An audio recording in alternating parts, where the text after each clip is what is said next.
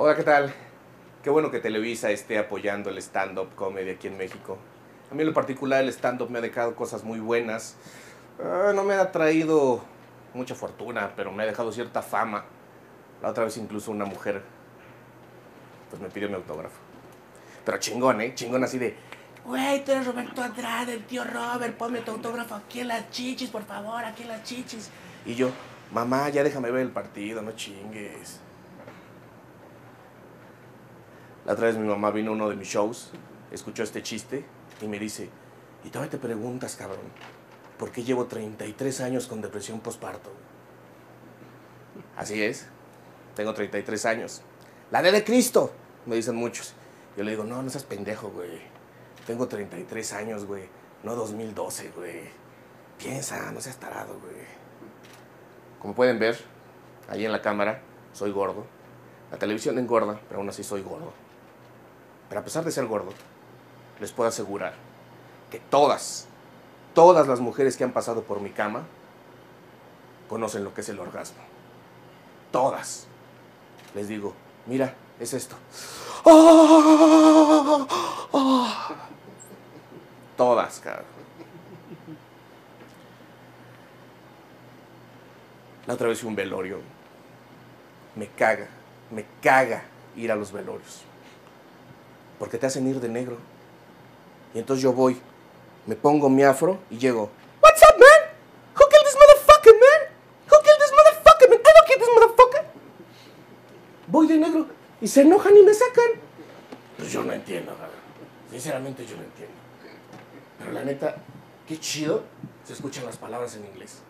Yo entiendo perfectamente a la gente que a sus hijos les ponen o les dicen Johnny en lugar de Juan, Peter en lugar de Pedro, Britney en lugar de pinche puta perdida. De verdad, de verdad es que soy chingón.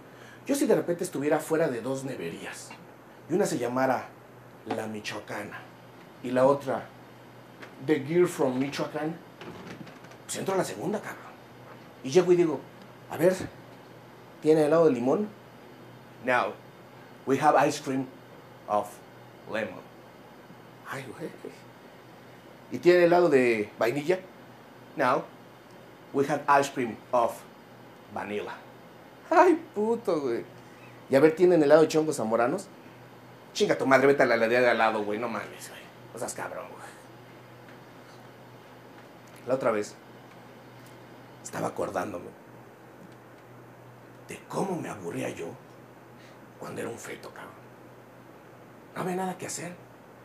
Nada más creciendo, esperando, oyendo a mi mamá que decía, ¿de quién será este cabrón?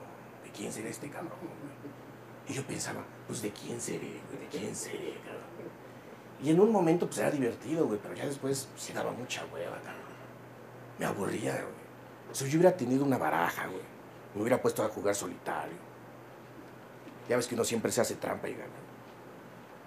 O si yo hubiera tenido un plumón. Si hubiera tenido un plumón, hubiera escrito. Yo estuve aquí. Ay, cabrón. Y de este lado, puto el que lo lea. Lo cual hubiera estado muy cotorro. Porque nazco, cabrón. El doctor está sacando la placenta. Y de repente.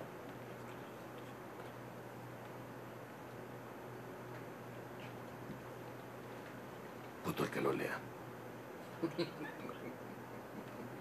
A ver, anestesiólogo, venga, por favor. ¿Qué pasó, doctor? Ve- Venga, venga. Oiga, ¿qué dice aquí? A ver, doctor. Puto el que lo lea, doctor. Pendejo, eres puto, güey. Ay, doctor, es usted bien simpático. Oiga, anestesiólogo, ¿se lo llevamos al director del hospital? No creo que se enoje. A ver, présteme el plumón. Puto el que lo lea y el que se enoje, cabrón. Ahora sí, güey, vamos. No, hombre, doctor, le digo que usted es tremendo, tremendo.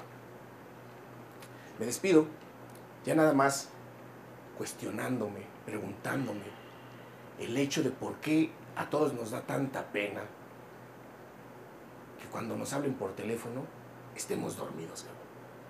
O sea, yo no entiendo cuál es la vergüenza. Pero suena el teléfono, lo levantas y para no contestar, bueno, le haces... Y contestas, bueno. Eso es todo.